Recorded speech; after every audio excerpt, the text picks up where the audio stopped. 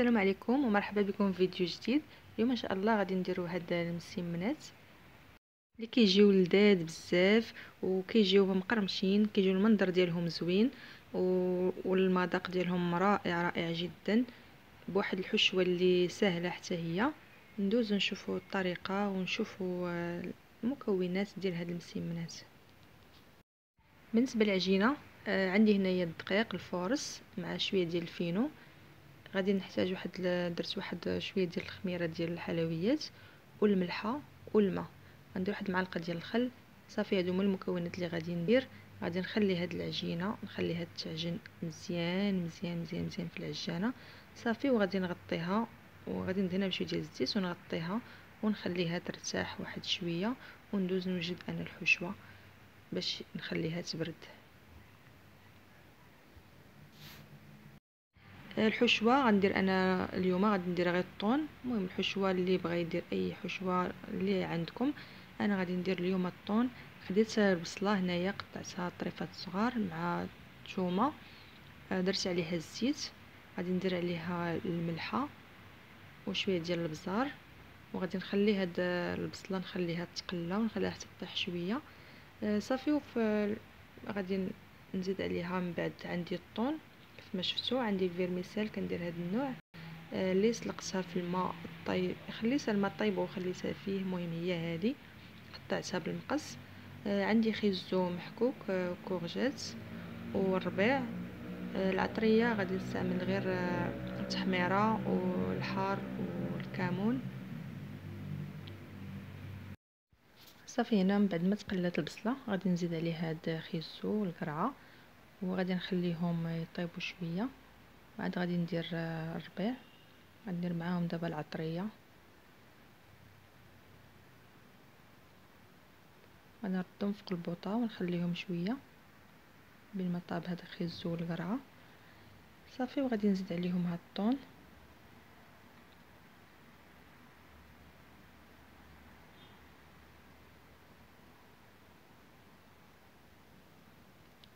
هي هادي دابا طابت. صافي غادي نكمل أنا هاد الطون اللي عندي.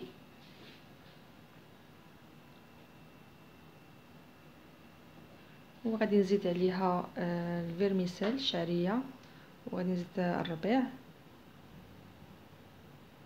هنايا أنا درت آه، شوية ديال لاموطارد آه، ما عنديش صوص الصوجا اللي عنده صوص الصوجا يديرها من الأحسن.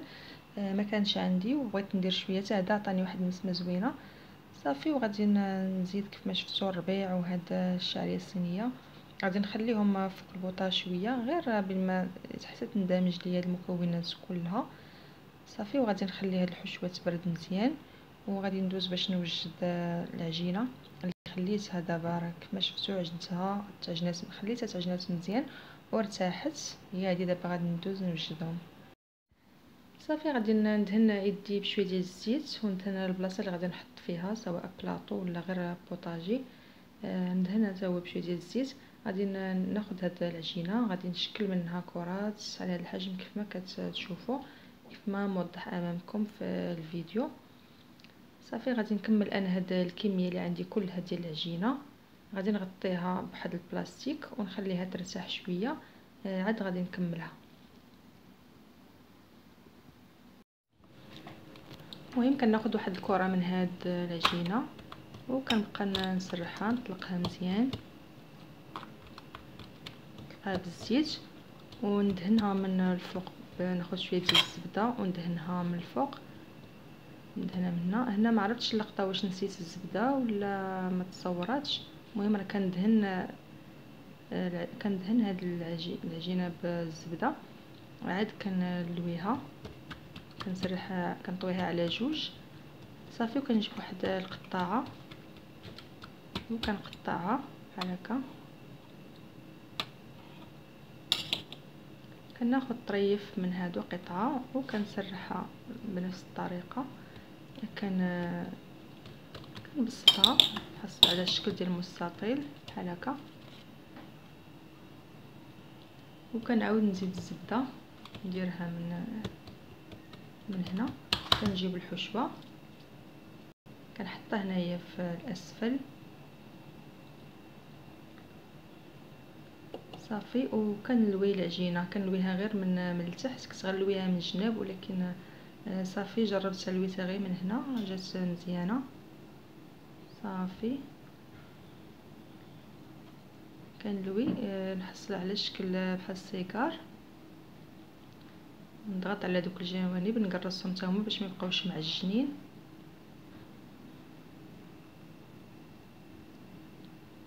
صافي نحصل على سيجار بحال هكا. غادي نجيب واحد الموس يكون ماضي. ولا قطاعة ولا مهم شي حاجة تكون ماضية. غادي غادي نفتحها شوية نفلحها من الفوق بحال هكا.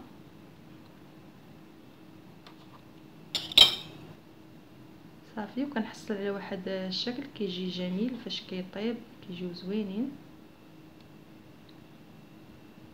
صافي بحال هكا. كاين فاش كيطيبوا راهم كيعطيو واحد المنظر اللي زوين. غادي نحطها هنايا في الطاوة ندير واحدة أخرى. المهم دابا كنكمل معكم واحدة أخرى. خديت قطعه واحدة أخرى من هذوك اللي قطعت. آه كندهنها بالزبدة وكنقرصها مزيان نحاول نرققها. على هذا الشكل. ناخذ الحشوة. صافي وغادي نديرها بنفس الطريقة بحال اللي درت الأولى. غادي ندويها على شكل ديال السيجار.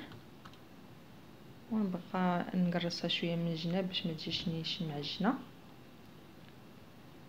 صافي ونجيب موس وغادي نقطعها من الفوق.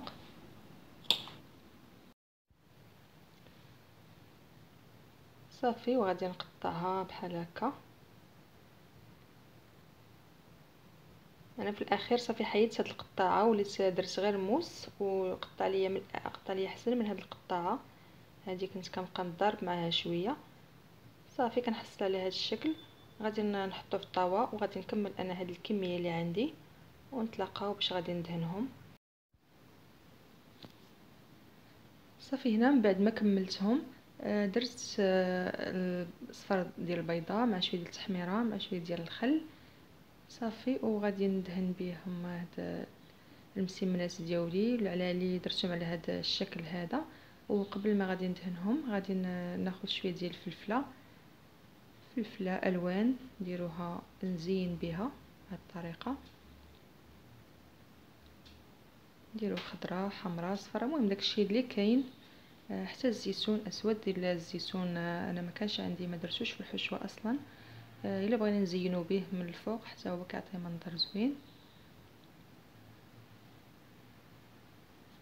صافي وغادي نكمل. وهاد العجينة راه كتجي بها أي حاجة. أنا راه جربت بها حتى بحال الشكل ديال بريوات وجاوني حتى هما نفس جاوني زوينين حتى هما بزاف يعني عجينة وحدة ونقدروا نشكلوا منها شحال من مملحه ولا شكل شحال من شكل.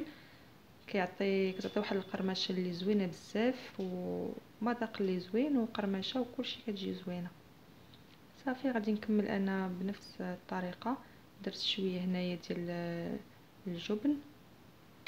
اللي بغى يخلي الجبن حتى الآخر يخرجها وهي باقا سخونة عاد يدير من الفوق يدير. أنا درت دابا ومني خرجتها عاد شوية من الفوق عاوتاني. صافي وكما قلت لكم دابا غادي ندهنها بالصفار ديال البيض اللي درت. غادي نكمل أنا هاد المسمنات ديالي. وندخلهم الفران يطيبوا وغادي نتلاقاو مع الشكل النهائي. نسخن الفران مزيان ونقص عليه العافية حتى يطيبوا على خاطرهم. كانوا هادو هما المسمنات اللي على درتهم على هذا الشكل هذا. كيجي الشكل ديالهم زوين كما قلت لكم. والمذاق أيضا كيجي رائع ومقرمشين وكيف ما شفتوا في الأول راه سمعتكم هذاك الصوص ديال القرمشة أنهم كيجيو زوينين بزاف. آه، دابا من بعد ما طابوا حطيتهم هنايا في طبق التقديم. درت عليهم شوية ديال المعدنوس. أنا حطيت هاد الحطة مزروبة. بان ليا دابا حتى في الميت عاد بان ليا راه داك المعدنوس ما مقادش وداك الشيء حيت كان صافي أذن والوقت وصل. صافي ما درتهمش بكري. المهم آه، هادو هما الاقتراح ديال اليوم. كنتمنى يعجبكم. آه، فعلا فعلا كيجيو زوينين. غير جربوهم وما غاديش تندموا عليهم. وشكرا على المشاهدة. وإلى اللقاء في فيديو قادم إن شاء الله.